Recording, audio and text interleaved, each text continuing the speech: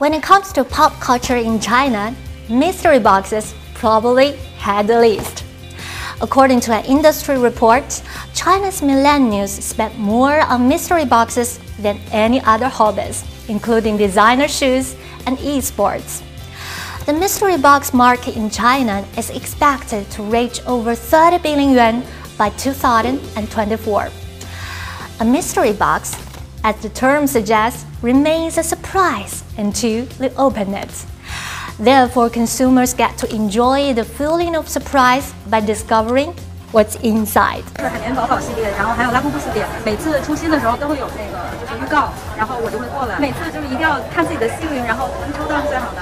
Nowadays, not only Generation Z, but also some middle-aged people are showing an increasing interest in mystery boxes.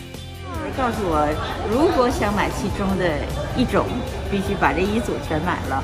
才能够像中奖一样买到我喜欢的这个款式，是这样吗？对。Just a few years ago, mystery boxes were linked to animation and collectible figures. Gradually, there are more and more mystery boxes, varying from desserts, snacks, apparel, cosmetics, movie tickets, and even flight tickets.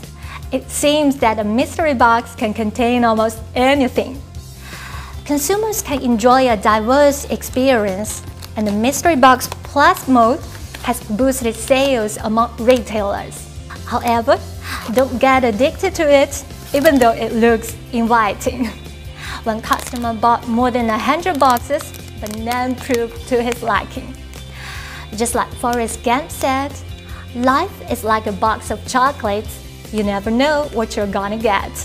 So it is with the mystery box Let's keep rational while pursuing a thrill.